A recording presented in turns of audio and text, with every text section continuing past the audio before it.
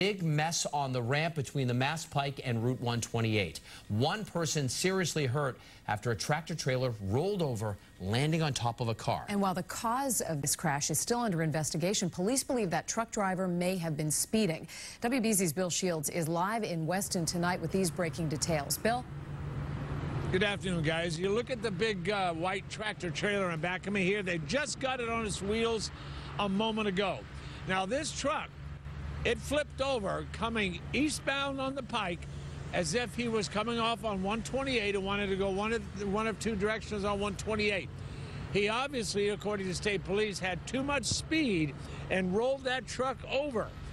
And it hit a car with two people inside, crushing the car. But miraculously, the people survived. And the truck driver and his companion, they were all right.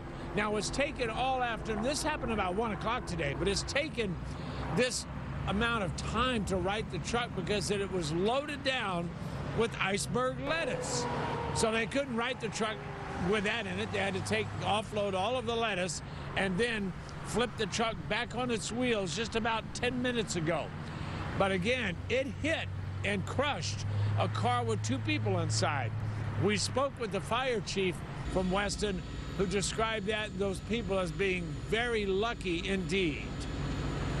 It's not something you see a lot of. Um, the truck rolling over on top of the car, but you know the people were able to self-extricate, and with their injuries, they were both conscious, alert, talking to us um, when we got there, and they self-extricated themselves from the car, so they were extremely lucky.